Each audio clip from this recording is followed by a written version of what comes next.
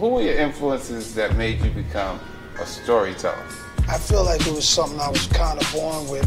It's become not just us throwing on clothes, but also us behind the scenes with creating the clothes. We need justice. That's why we here.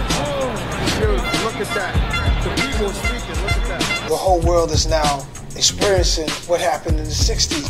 I remember going to the parks and they used to plug the equipment and get the electricity from the street lamp.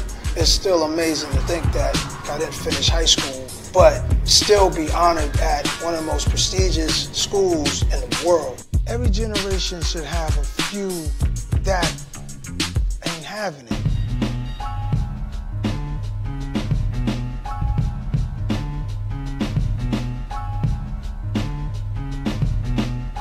Putting my life out there, I wanted it to feel real to the listener.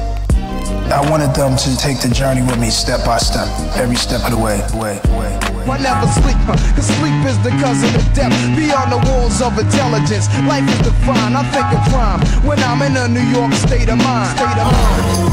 For my brothers with daughters, I call this. For my brothers with daughters, I call this. I heard the beat and I ain't know what to write.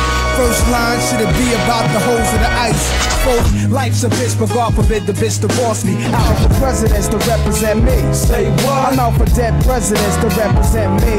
me. I wanna say congratulations to Nas. May the Most High continue to bless you with a lifetime of success. No, y'all know what it is. Nas is one of the greatest to ever, ever open, ever speak to an open mic. You are a king and cut from a different cloth. Congratulations, man. You deserve the Revolt Icon See, clothes that I buy, ice that I wear, flows that I try, close your eyes.